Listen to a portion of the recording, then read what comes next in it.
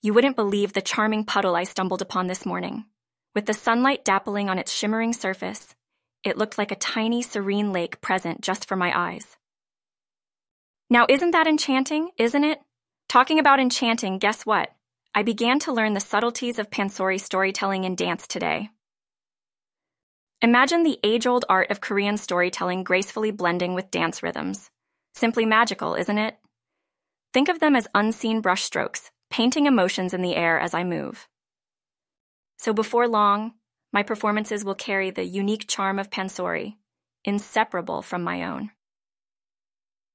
Ah, the beauty of blending cultures. Also, our group chats, they're always filled with those pops of joy, aren't they? Pierre, if his imagination isn't running wild, he's probably asleep. And Heejin, ever the workout enthusiast, almost unleashed a protein shake tsunami thanks to that tremor. Max, of course, ready with a quip about his late night dietary habits. I do admire their energy. You know, it's always so infectiously exciting. I shared about my dancing session, you know, the one with the Pansori storytelling, and everyone seemed intrigued. Especially Max. And you know Max?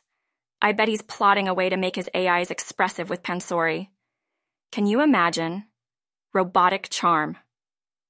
I'd pay to see that, honestly. We're planning an early morning run tomorrow. Hye Jin's idea, of course. Pierre reluctantly agreed, though. I bet we'll have to drag him out of his bed but I am quite hyped for it. There's something about the crisp morning air that stirs up an appetite for the day, you know? Ah, the moon outside my window is casting a pale, ethereal glow tonight. It's strange, but I feel like it's gently lulling the city to sleep. Oh, there goes Pierre's text, making me chuckle. Really, some people have an unparalleled talent at coming up with the wittiest puns, don't they? Ah, the clock is ticking on, Time just flies by during these late night sessions, doesn't it? Goodness, looks like I've been rambling for a while now.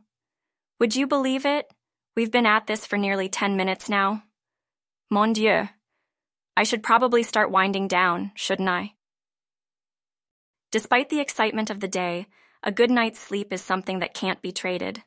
No, not even for an intense chat about Pansori and AI. Can't wait for the sunrise jog tomorrow, though. The allure of a new day does make tossing and turning a delight. So, there I was, with Dolma by my side, translating the essence of Thangka art onto paper to enhance our costume designs. Can you comprehend the beauty of this notion? Drawing from something so divine and infusing it into the fabric of expression. It's like giving the dance its soul, silent poetry that would speak volumes during the performance. And the camaraderie with Dolma, it's sterling. Her mastery over Thangka is a beauty in itself, quite indescribable. There's this grace in the way she communicates the nuances of Thangka, intriguingly making it a smooth sail for me. It's like deciphering a coded manuscript page by page, each layer unfolding a new element. Quite incredible, huh? This interaction, it's mindfully mingling two forms of expression, each enhancing the other in its distinct language, it's not just about art or dance. It's about creating a conversation within the silence, yet magnifying the voice of art in its own silence. Oh la la! Imagine how vibrant the stage would look. It's like forming constellations of Thangka symbols shining amidst the rhythm of my dance. You know, there's something so compelling about Thangka. The spirituality it carries, the serenity that reflects through it, and the souls it contains within those colors and axis of geometry. It's like reciting silent sutras to the universe, each brushstroke creating a conversation of acceptance and gratitude. Conversely, isn't it intriguing how seamlessly such disparate cultural spheres have found a connection? Ah, the cosmos of art. They say art transcends language, but I never truly understood the extent of that until now. Oh, and our usual chatter in our group chat was lively today especially Hye Jin, always the drama queen, lamenting about her impending cheat day, running as the punishment for French fries, classic Hye Jin for you.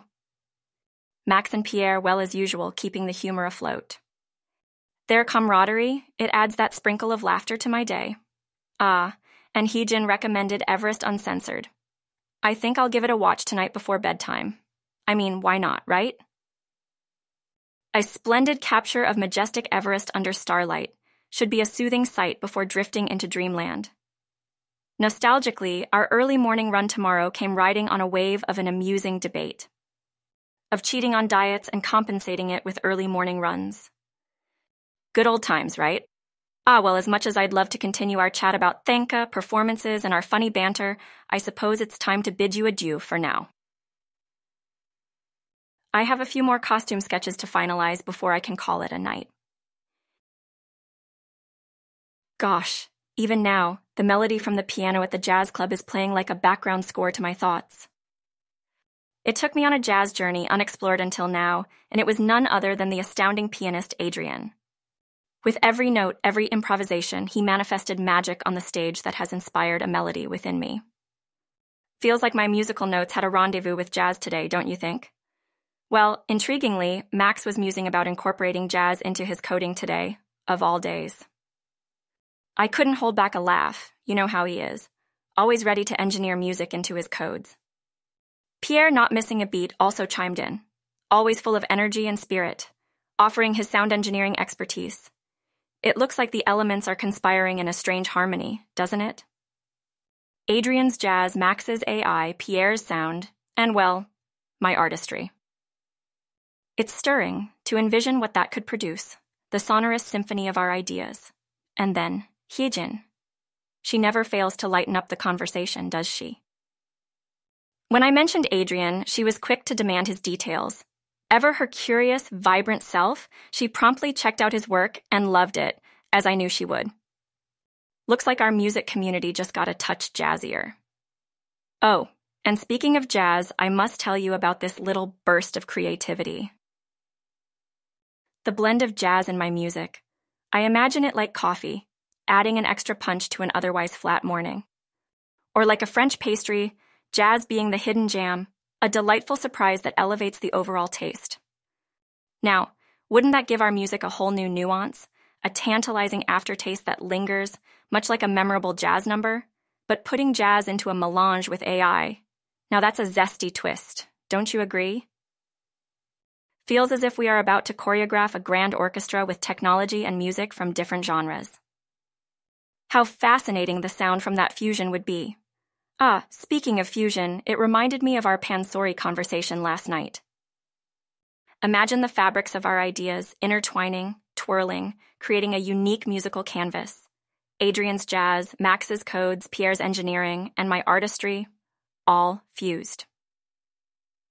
Such a picturesque thought, isn't it? You know, there's this blithe air about the jazz club. The smoky atmosphere, the chatter, the clinking glasses, and amidst it all, the soul stirring jazz echoing. It's like living within a sepia tinted postcard where time slows down and every beat of music cascades into a quaint echo. Quite enchanting, much like a bolero hat on a sunny day. Now, pulling myself out from the jazz trance, I must finish a song tonight. It has this hook that keeps playing in my very core. The melodies are blending like the colors of autumn, bold, mesmerizing, and leaving a soft imprint. Quite a task, but sounds fun, doesn't it? Also, you should recollect Hyejin's Everest movie suggestion. I am going to watch it tonight. Maybe some majestic Everest under a starlight might add a pinch of tranquility to my evening. Isn't it something the docile mountains cloaked under the shimmering stars. So, my dear friend, as the day is folding into a euphonious dusk,